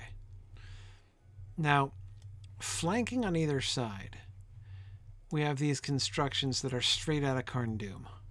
Mm-hmm. So those I've been looking. Um, I've been looking for Angmarim stuff, and there they are on either side. And yeah, it does look like we we we, we get some scaffolding there, repairing some of those spires. You're right. Very clearly. Or maybe desecrating them. right. Let's erect a scaffold so as more conveniently to desecrate the spires. I suppose you'd have to. Yeah, JJ, I was looking at that too. We can see some evil Tudor houses down there. Yeah, we get the whole the whole thing. You got the stripy, you know, uh you know, plaster. well, right, like the sort of evil quasi, uh, you know, walls of Constantinople thing going on. Anyway, whoa.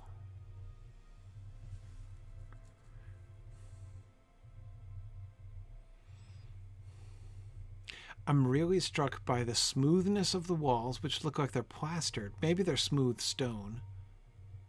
But the smoothness of the stone and the windows. This looks like. I don't know what it looks like. It doesn't look dwarven. It doesn't look like a fortress. It looks like well, all the windows make it Yeah, look yeah. like um make it look like a A great palace. house. Like yeah, like a palace, like a like a sort of like a not exactly like a Georgian palace, but yeah, I agree, Holger. At least the at least the sun is rising, so we're getting some daylight on the equation here. Um, yeah, and the color, the light like beiges going on here, and the spires. I don't remember seeing anything like those spires. Just spires for the sake of it, you know? I don't recall seeing dwarven architecture being so elegant and not complicated, like busy. Like you look at the the the ruins in the foreground or the ruins behind us, and there's all kinds of little you know fripperies going on here. Even though it's all a, a nice elegant shape and design, there's no. Yeah, Like, look at the gold inlay and everything. Yeah, right. yeah. Yeah. But this is a much more basic. Honestly, it kind of reminds me of uh, the designs of Mos Eisley on Tatooine. You know, the the Hmm. whole Adobe structure out in the desert. Right. The deal. right right no i think i see what you mean by that um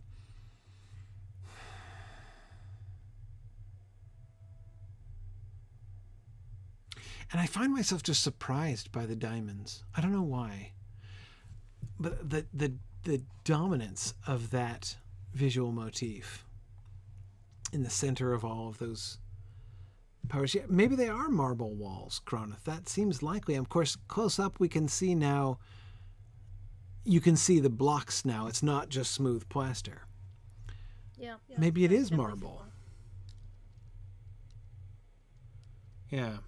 Um, I don't recall dwarves using white and beige like the earth tone.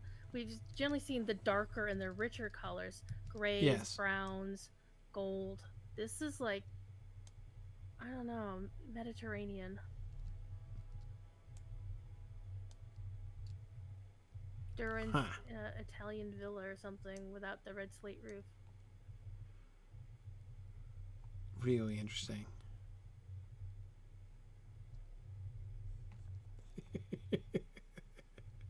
Yeah, our, our lovely friends are experiencing the joys of going to high areas. Yes. Ge- Yes. Getting murdered by the fauna.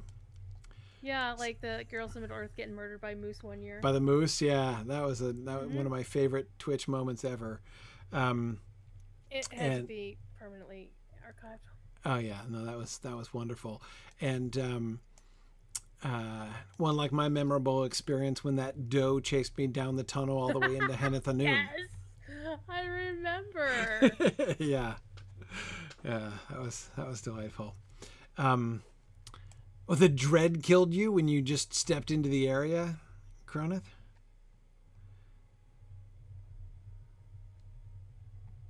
Yeah, when when you're a low level character and you die in a zone uh, where the name under the minimap is is red, Is red, you'll yeah. get sent you'll get sent back to your milestone. Oh, JJ, look at that.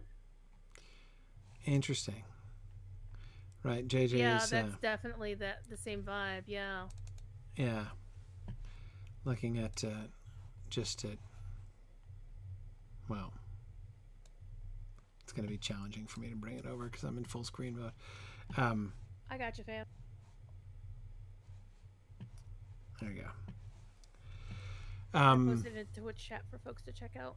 So yeah, that was the potatalo. Potala.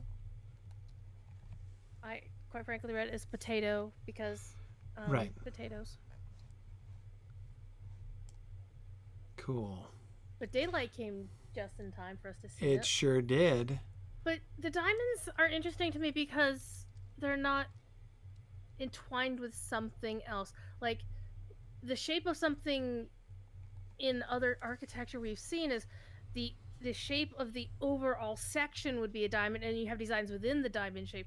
This is like the diamond is an applique onto some like on this plain facade. So yes, it's not- exactly. it's it's, it's the not part of it.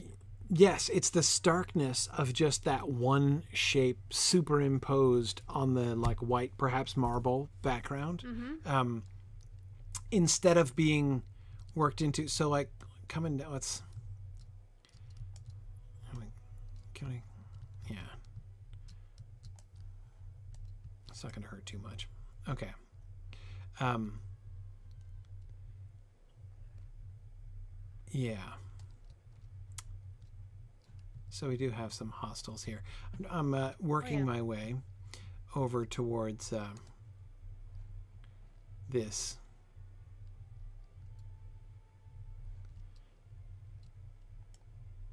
This other dwarvish building in the foreground, basically. And do a little comparison and contrast.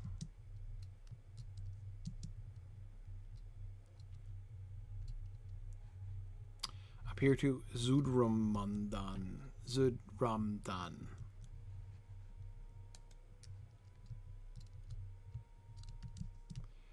Right, so if we. Right. Never mind. Okay. Right. So. Lots of shapes, right? Lots of different kinds of shapes. Oh, is the stable master here? Oh, we made it to my first stable master. Hey, that was the goal. Didn't even know I was there. Anyway, but my point is, not it's not just when you look at how much busier this is, right? Mm-hmm. Even the smooth face surprised me because you don't you, we don't usually see that. We often see this, right? Like the the layers of rock seems to be it's like one of the design elements, right?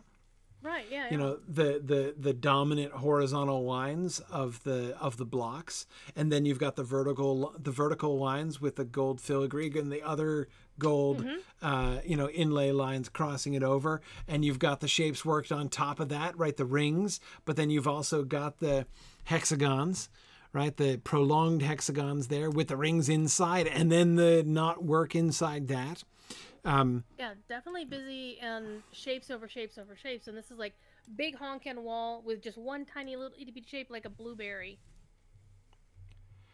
Right. And the only thing that they have just like everything has been worked into the architecture, right? Like the like yes, you've got the filigree work on those, you know, like pilasters coming down the side of the but they're part of the structure, right? The it's not just like yeah, it's not just like glued on. The only thing that's glued on here are these long hexagonal shapes, potentially, right? Those mm-hmm. are sort of extra, but they're not. I don't understand. It's them. Still gold on dark bluish black, the same as the background, right? It's not like we're just taking an outside thing and, you know, nailing it on. It just. I just have not, and whereas with the other more uh, um, long beardy, um, uh, uh, no, that wasn't it. Long long beardish. What was our adjective? We had dour handy. Oh, I think And- Um, Long beardish? well, it wasn't Longbeardian. I don't think so. I think it was long beardish. Anyway, Mhm. Longbeardian. It was Longbeardian. Okay. Um, so, in the more Longbeardian architecture, like there in Ered Luin that we were looking at for so long, it tended to be cleaner, much less busy than this. It tended to be cleaner, but like and uh, geometric shapes. But the geometric shapes were built into like a, a really prominent you know pentagonal keystone or diamond keystone or something like that right um, the uh, the the sort of hex arches and that kind of thing um, but um, There also seems to be two separate styles going on here. I mean, the primary building structures are basically this dark gray with the gold overlay, but along here are these these little plinths that are this basically the Scar Hall design, which have like the, the lapis lazuli and are more blue and gold rather than um, just the gray and gold. You see them? Where Um, they're generally the plinths along the border, like where JJ and I are bouncing, and okay over here yeah, these things.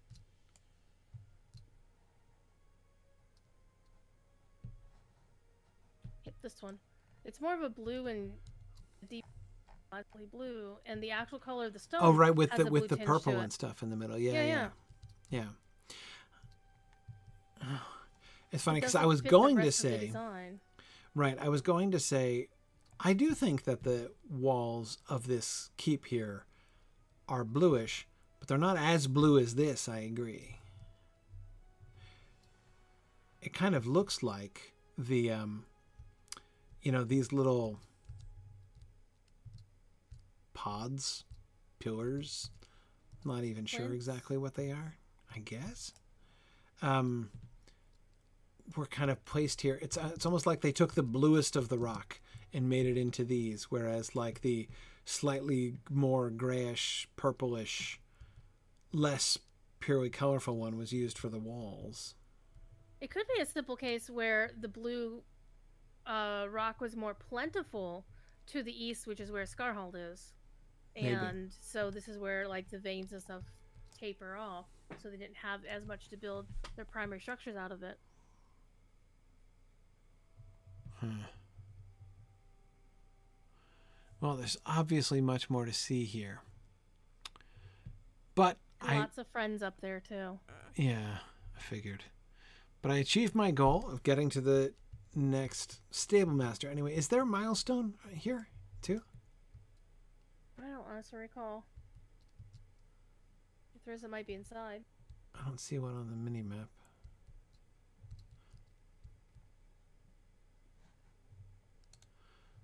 Yeah, it looks like there's a uh, legendary items dude in there. And a mailbox, apparently. Yeah, this is more of your outposty kind of thing, so there really isn't anybody Yeah. here. Yeah, no, I don't see a. Yeah, I would expect it if there were to be one to be outside. Yeah, I do like this too. crystal in the middle. I mean, that's a new design.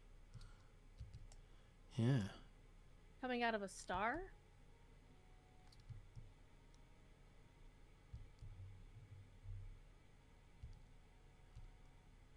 Huh. Anyway, okay. Well, we will explore here a little bit more thoroughly next time. I just wanted to see if there was a milestone before we left. Um. Okay. Well, that's fine. We'll keep. Uh, we we can keep. We can stable up to here from the last place, so we can at least get here through stables. So, all right. Oh, I think we should say goodnight. It's getting late here. Thank you everybody for joining me. Fun first glimpse of Gundabad here, and we'll come back and look more and see what we can figure out of a with a more detailed survey next time. Awesome. Thank you guys very much, and I will see you guys next week. Bye now. Bye!